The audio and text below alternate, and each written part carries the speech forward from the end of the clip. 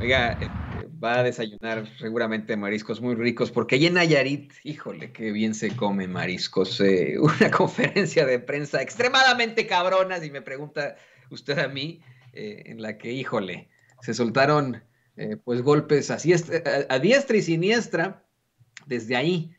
Desde Tepic Nayarit, el presidente López Obrador exhibe una serie de situaciones fuertes precisamente sobre reforma. Le toca la palabra a Benito, se me va su apellido, Benito Jiménez de Reforma, quien le recrimina a López Obrador que según su diario, Santiago Nieto pues acumuló bienes por 40 millones de pesos durante su gestión al frente de la Unidad de Inteligencia Financiera. Benito le habla de pues eh, una supuesta eh, situación de pues de, de, pues de, cómo es que no es congruente con sus de incongruencia, ¿no? Con sus comentarios. El presidente primero le asegura que hay que hacer una investigación, que él ha explicado, el mismo Santiago Nieto, pues ha, explicado que son créditos que solicitó, pero que la función pública puede hacer la investigación, que no cree que haya problema con todo eso.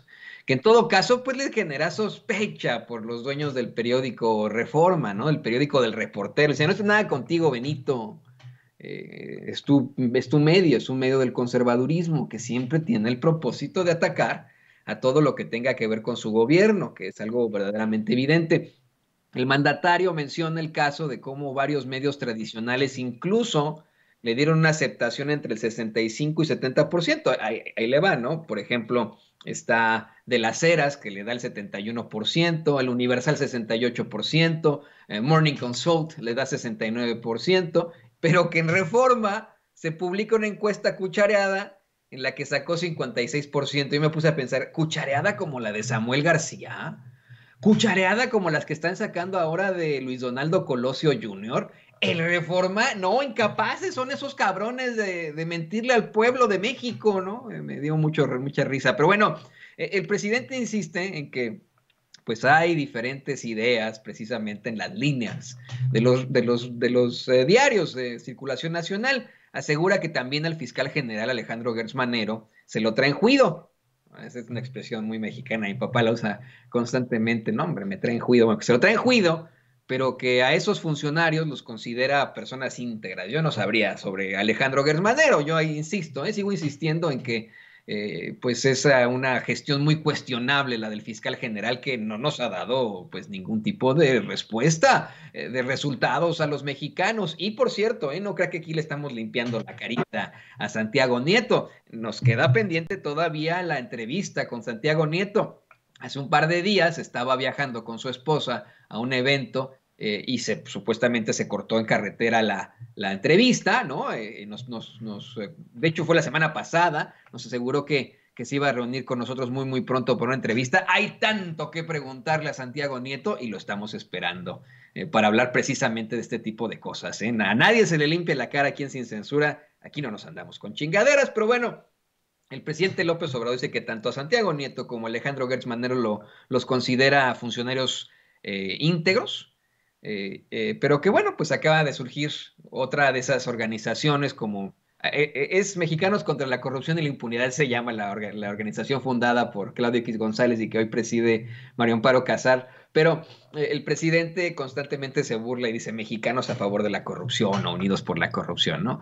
Dice que como ya no les funcionan sus membretes y sus mentiras, ahora sacaron una que se llama signos vitales eh, y, se sigue el presidente, ¿no? Dice que a Juan Francisco Ili Ortiz, como lo encontraron en la boda de Santiago Nieto con 30 mil dólares, ese es el dueño del, Universal, pues debe estar enojadísimo con Alejandro Gersmanero y que por eso las notas que él está sacando de, bueno, que se está sacando en el, en el periódico El Universal del fiscal general. Dice, parece que Reforma la trae con Santiago y el Universal contra el fiscal Gersmanero. Yo creo que ni con uno ni con otro son dos diarios opositores al régimen del presidente López Obrador y con el que la traen es con usted, presidente López Obrador. Ellos y una caterva impresionante, una plétora eh, fantástica de medios de comunicación tradicionales, de situaciones eh, verdaderamente llamativas. Mire, hoy en el quién es quién de las mentiras de la semana eh, queda exhibida la, pues la fake de López Dóriga y Calderón como una pinche ridiculez. se plantea así, ¿no? Eh, de hecho, es, es, verdaderamente terrible, ¿no? Que hayan eh, pensado que había sido una simulación al estilo Matrix, ¿no? hacer estas cosas. E, e, es, de risa, ¿no? Eh, yo le he dicho aquí, por ejemplo, en Sin Censura, que a nosotros se nos quema la imagen constantemente. Y, e intentamos que no sea así, pero se les quemó la imagen y de ahí sacaron que era una simulación y que ni siquiera iba en movimiento el tren. Bueno, pues ya Salió Ana Elizabeth García Vilchis a enfrentar directamente a Felipe Calderón, quien le dice que es la señorita que no sabe leer.